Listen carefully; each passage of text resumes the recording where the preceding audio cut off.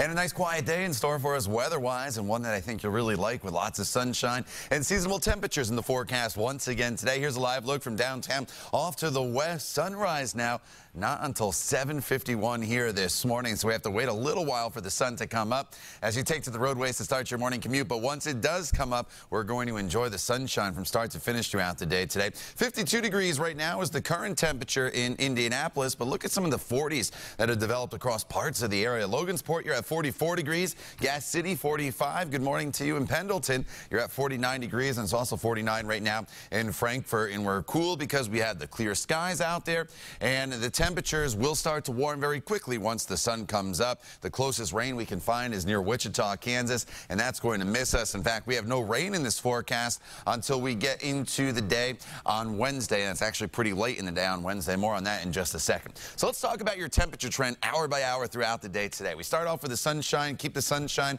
Still hovering in the 50s through 11 a.m. It's not till the noon hour that we make the jump up into the 60s, right around 62 degrees if you're heading off to lunch. As Beth mentioned earlier, you can find the patio for lunch today. Should be very pleasant out there. 68 degrees by 2 p.m. And then throughout the afternoon hours, we'll see our high temperature top off right around 70 degrees. Normal high this time of year, 67. So we're running a few degrees above normal with the sunshine. Then overnight tonight, very similar to what we're experiencing right now. Clear skies, temperatures will be in the upper 40s to right around 50 degrees in Columbus. And then for tomorrow, a little bit warmer. Once again, we'll top off in the low 70s. Skies will be partly to mostly sunny throughout the day tomorrow. Could be a little bit more in the way of cloud cover throughout the afternoon hours on Tuesday, but that is just about it. And as we go over to TrueCast, don't need to show it to you for today or tomorrow. It's Wednesday will be our next chance of rain.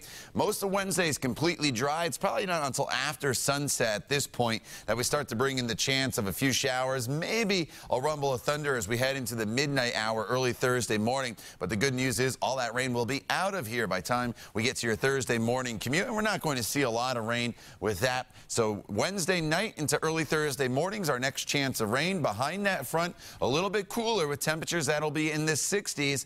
But then we warm up heading into the weekend. But with the warmer air will come the chance of a few spotty showers as we get into Saturday and Sunday. Let's get you updated on the roads. For that, we go to Lauren Casey.